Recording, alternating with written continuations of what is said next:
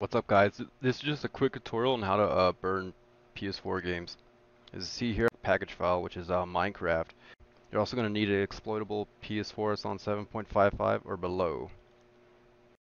You're probably wondering, why would you want to do this when you can just uh, use FTP or internal package installer? Uh, the reason being is that so you can save hard drive space and say you delete a game but you want to play it later, you could just pop the disk in and install it from your package installer.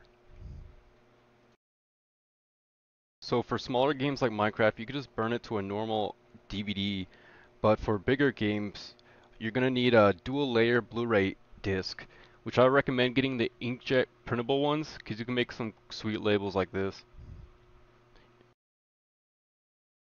You would also need a Blu-ray disc burner, which are quite expensive but are well worth it.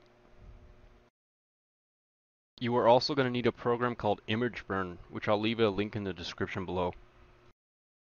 So once you have downloaded ImgBurn, you're going to want to open ImgBurn and go to Write Files slash Folders to Disk. And this is where you're going to put your fake package files. But you need to make sure that you have them on the root of the disk and not in a subfolder, or your PS4 won't read them. On the PS4, it'll show that it is an unsupported disk. Um, that is okay. As you see, if you try to run it, it'll give you an error.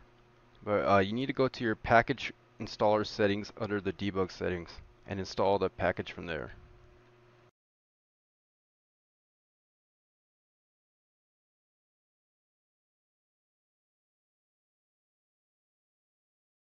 Once the game is done installing, you can just eject the disk and run the game from the home menu like so.